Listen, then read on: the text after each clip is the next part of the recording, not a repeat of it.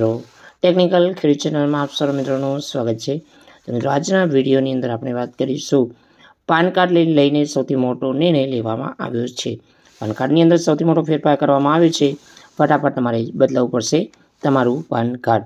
તો સંપૂર્ણ માહિતી જાણીશું આજના વિડીયોની અંદર. તો વીડિયો અંત સુધી જોતા રહેજો. જો તમે અમારી ચેનલ પર નવા છો, તો ચેનલને સબસ્ક્રાઈબ જરૂર કરજો. તો ચાલો મિત્રો, આજનો વીડિયો શરૂ કરીએ. તો મિત્રો, વિડીયોની અંદર આપણે વાત કરીશું પ્રધાનમંત્રી નરેન્દ્ર મોદી આગેવાની હેઠળ કેબિનેટ બેઠકની અંદર પાન કાર્ડ લઈને મોટો નિર્ણય લેવામાં આવે છે. આ અંતર્ગત જૂના પાન કાર્ડની જગ્યાએ હવે ક્યુઆર કોડ સાથે તમારે પાન કાર્ડ આવશે. તો આધાર કાર્ડ જેમ પાન કાર્ડમાં પણ તમારે ઓળખ સાબિત કરવી પડશે. એટલું જ નહીં ઘણા બધા નાણાકીય કાર્યો જે તેના વિના થઈ શકતા નથી. તો વડાપ્રધાન નરેન્દ્ર મોદી નેતૃત્વ હેઠળ કેન્દ્ર સરકાર જે કેબિનેટ બેઠક મહત્વપૂર્ણ દસ્તાવેજ લઈ સૌથી મોટો નિર્ણય લીધો છે. તો જે મિટિંગ મળી હતી PAN card two point zero project મંજૂર કરવામાં આવ્યો છે. આ અંતર્ગત તમારે પાન કાર્ડ બદલાવવું પડશે અને ક્યુઆર કોડ સાથે નવું કાર્ડ પાન કાર્ડ કઢાવવું પડશે. તો એની વિગતો આપણે જાણીશું કે મોદી સરકાર PAN card two point zero મંજૂર કરી આપવામાં આવી છે. તો જૂના પાન કાર્ડની જગ્યાએ ક્યુઆર કોડ સાથે નવો પાન કાર્ડ તમને જોવા મળશે. કેન્દ્રીય મંત્રી અશ્વિન વૈષ્ણવે જે સોમવારે બેઠકની અંદર લેવાયેલા નિર્ણય વિશે માહિતી આપતા કહ્યું છે કે PAN card two point zero launch કરશે અને પાન કાર્ડ અપગ્રેડ છે. ખાસ કરીને કરદાતાઓની ઓળખાણ છતી કરવા માટે મોટો દસ્તાવેજ હવે વધુ ફાયદાકારક થશે. તો એની અંદર સંપૂર્ણ માહિતી જાણતા પહેલાં અશ્વિન વૈષ્ણવે જણાવ્યું હતું કે PAN two point zero project એક ઈ વંશ પહે- પહેલ છે. તેનો ઉદ્દેશ પાન, ટાન જે સેવાઓ પાન પ્રમાણિત લઈને મુખ્ય નોન કોર પાન, ટાન પ્રવૃત્તિ સરળ, સુરક્ષિત બનાવવા માટે કરવામાં આવશે. અમારો જે પ્રોજેક્ટ કરદાતાઓને વધુ સારો ડિજિટલ અનુભવ થશે, તો ઇઠ્યોતેર કરોડ પાન કાર્ડ ધારકો માટે કરવા પડશે. આ નિર્ણયની અંદર તમારું પાન કાર્ડ અપડેટ.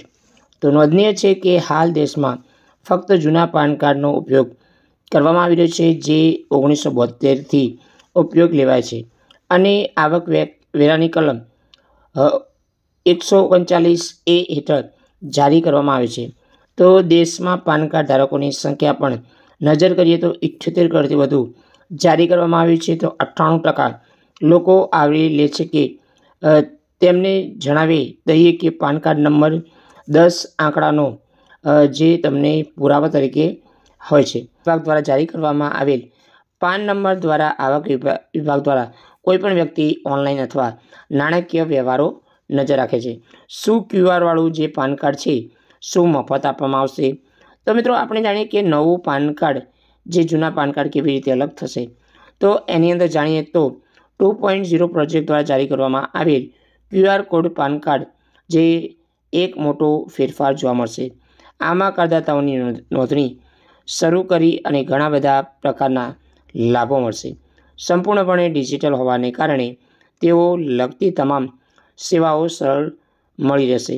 તો આ સિવાય કાર્ડ ધારક ડેટા પણ સુરક્ષિત રહેશે.